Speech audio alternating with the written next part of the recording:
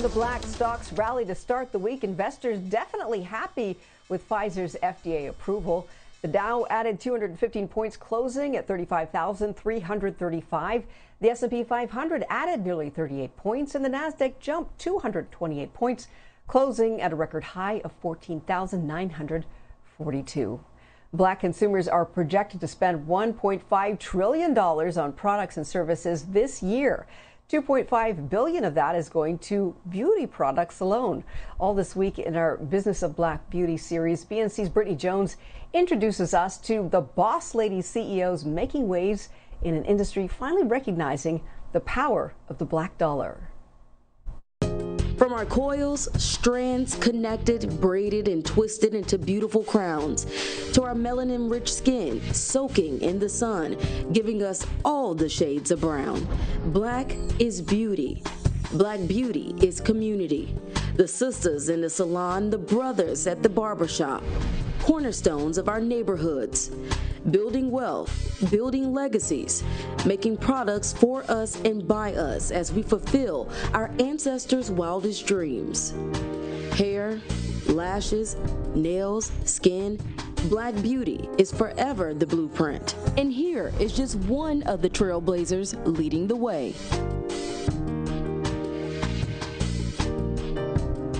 And oh my gosh, you've been doing such a fantastic job. Obviously, um, this was a, a, new career for you, if you will. Talk about your passion. One of the things that we want to talk to you about is Kurly Klips and how you developed it. This is something that, you know, some women, we can't get the hair that we want in terms of like having it very big. So you offer a way to be able to get that gorgeous look and give people confidence. So tell us more about your business, Kurly Klips.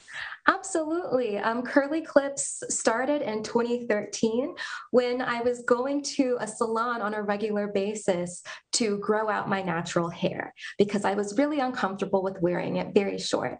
Uh, for over a year at this point, and I had spent so much money because I was spending money on the hair itself and I was also spending money on the services. And, you know, I don't know if the stylist was having a bad day, but she basically at one point convinced me to stay in the sew-in for longer um, than I normally would. She convinced me to stay in it for four months.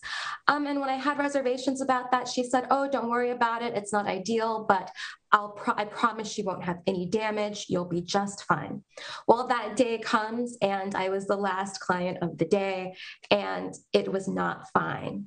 Um, I had finally reached my goal length, which is pretty much down my back uh, towards my bra strap. And towards the end of it, after she was finished, we had to cut it all the way back up here again. This was a really, really difficult time in my life. Um, I graduated college during the Great Recession, the first year of the Great Recession. And so I had a really hard time finding a job. And even at that point, you know, all of my dreams um, that I had been working towards, they had just nothing had really come of it. And that's when I was crying on my bathroom floor, just saying, I give up, God, I give up on all of my dreams. You know, whatever you want me to do, I'll do it. And it was in that moment of surrender that I heard this voice that said, clip-in extensions for natural hair. I ran to Google because I was going to buy some to help fix my situation. And that's when I realized that no clip-in extensions for natural hair existed. And at that moment, I was like, this is it. This is what I'm supposed to do.